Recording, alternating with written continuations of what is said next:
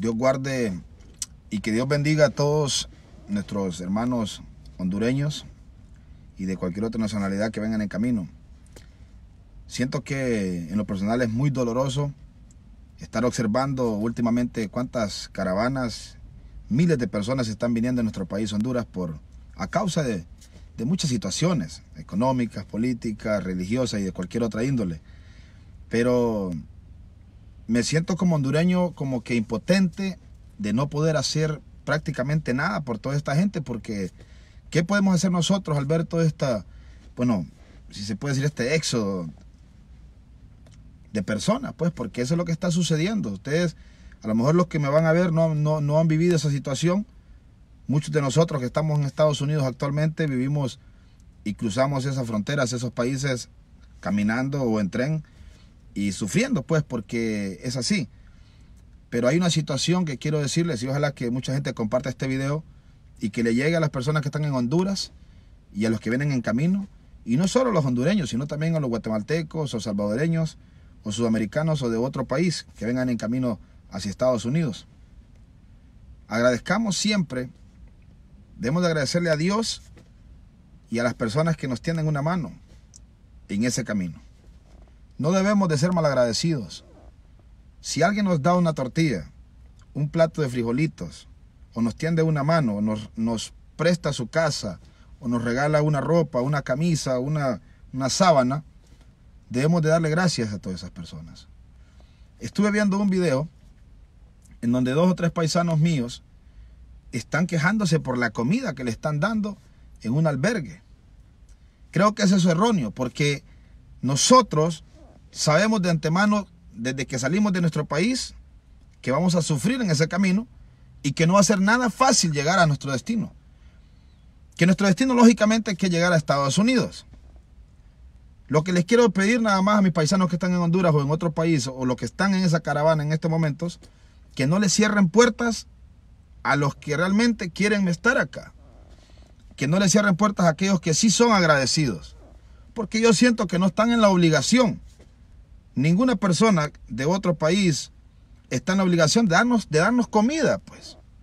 Entonces, nosotros tenemos que tener muy entendido que si tomamos la decisión de venirnos buscando el sueño americano, como le llamamos, tenemos que entender que no nos van a tener cobijas limpias, que no nos van a tener una camita king size, que tampoco nos están esperando con una limusina. Tenemos que entender bien que vamos a sufrir para llegar, porque no es nada fácil llegar a Estados Unidos. No es fácil tomar la decisión tampoco de emprender y tomar esa decisión de dejar todo, dejar tu tierra, dejar tu gente, dejar prácticamente tu patrimonio. Si un plato de frijoles, le repito, si una tortilla le dan, de gracias. De gracias que la, que la gente con devoción lo hace y a lo mejor estas personas es lo, es lo único que tienen. Porque no tienen para darte a lo mejor un plato de camarones o una langosta, pero si alguien te tiende una mano en México, en Guatemala o en cualquier país que sea, agradece y dale gracias a Dios que te están dando algo. Te voy a contar, te voy a contar algo, o le voy a contar algo a usted que me está viendo o me está escuchando. Cuando nosotros, o cuando yo me vine en lo personal, venía en tren. Y a veces hay personas que me tiraban comida o, nos tirábamos del tren para, agarrar las, bolsitas que te regala la gente ahí por Tenosique, ahí por Coaxacualco. Y estamos agradecidos con toda esa gente que nos dio algo de comer. Porque nadie está obligado a que nos den algo. Entonces, entiéndalo bien. Se lo repito, entiéndalo muy bien. Agradezca que le dan algo de comer en ese camino. De gracias a Dios cuando alguien le da algo de comer en ese camino. Nadie está obligado en ese trayecto de darnos de comer. Entonces no le cerremos puertas a quienes sí somos agradecidos y a los que sí son agradecidos y a los que sí realmente quieren llegar a Estados Unidos. Por eso hice este video nada más. No nos quejemos de la comida que nos regalan. Que ese regalo a lo mejor te lo está mandando Dios. Y es una gran bendición. Que Dios los bendiga a todos, que Dios los guarde en ese camino y que Diosito los proteja porque me duele mucho todo lo que está pasando en nuestro país y lo que esa gente está sufriendo para llegar a Estados Unidos. Dios guarde y que Dios bendiga a todos nuestros hermanos hondureños y de cualquier otra nacionalidad que vengan en camino. Siento que en lo personal es muy doloroso estar observando últimamente cuántas caravanas, miles de personas están viniendo a nuestro país, Honduras, por, a causa de, de muchas situaciones económicas, políticas, religiosas y de cualquier otra índole. Pero me siento como hondureño como que impotente de no poder hacer prácticamente nada por toda esta gente, porque ¿qué podemos hacer nosotros al ver toda esta, bueno, si se puede decir este éxodo de personas? Pues porque eso es lo que está sucediendo. Ustedes, a lo mejor los que me van a ver no, no, no han vivido esa situación. Muchos de nosotros que estamos en Estados Unidos actualmente vivimos y cruzamos esas fronteras, esos países caminando o en tren y sufriendo, pues, porque es así. Pero hay una situación que quiero decirles y ojalá que mucha gente comparta este video y que le llegue a las personas que están en Honduras y a los que vienen en camino. Y no solo a los hondureños, sino también a los guatemaltecos o salvadoreños o sudamericanos o de otro país que vengan en camino hacia Estados Unidos. Agradezcamos siempre, debemos de agradecerle a Dios y a las personas que nos tienen una mano en ese camino. No debemos de ser malagradecidos. Si alguien nos da una tortilla, un plato de frijolitos, o nos tiende una mano, o nos, nos presta su casa, o nos regala una ropa, una camisa, una, una sábana, debemos de darle gracias a todas esas personas. Estuve viendo un video en donde dos o tres paisanos míos están quejándose por la comida que le están dando en un albergue. Creo que eso es erróneo porque nosotros sabemos de antemano desde que salimos de nuestro país, que vamos a sufrir en ese camino y que no va a ser nada fácil llegar a nuestro destino. Que nuestro destino lógicamente es que llegar a Estados Unidos. Lo que les quiero pedir nada más a mis paisanos que están en Honduras o en otro país o los que están en esa caravana en estos momentos, que no les cierren puertas a los que realmente quieren estar acá. Que no les cierren puertas a aquellos que sí son agradecidos. Porque yo siento que no están en la obligación ninguna persona de otro país está en obligación de darnos, de darnos comida, pues.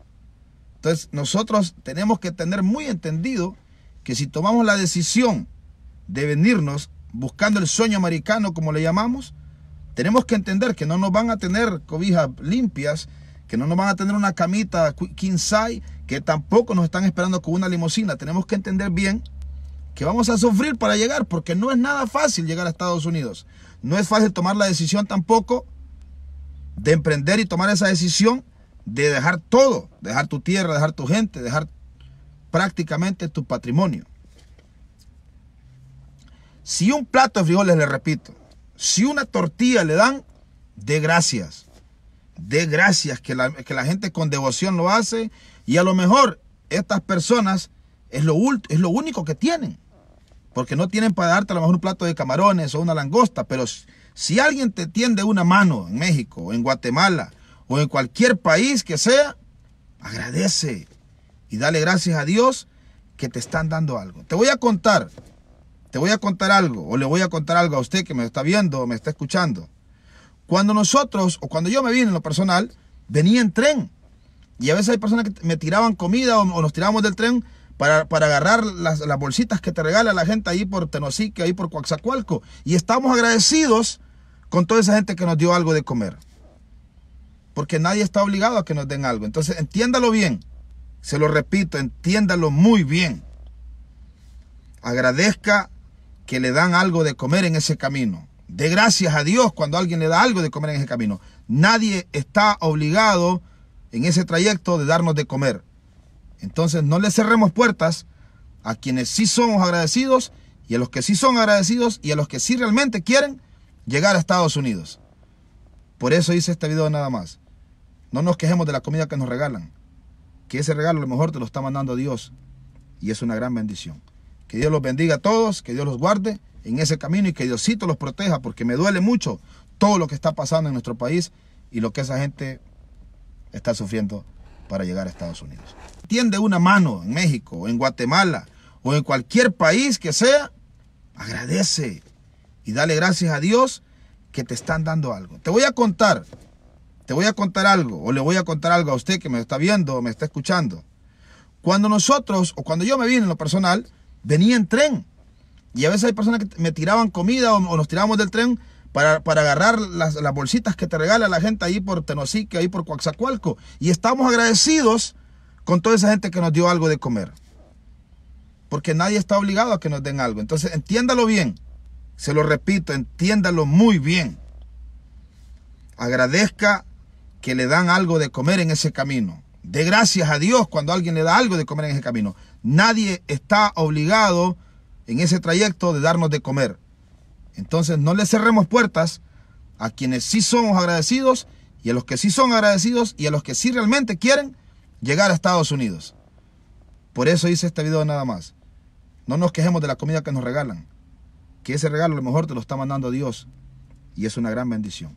Que Dios los bendiga a todos, que Dios los guarde en ese camino y que Diosito los proteja, porque me duele mucho todo lo que está pasando en nuestro país y lo que esa gente está sufriendo para llegar a Estados Unidos.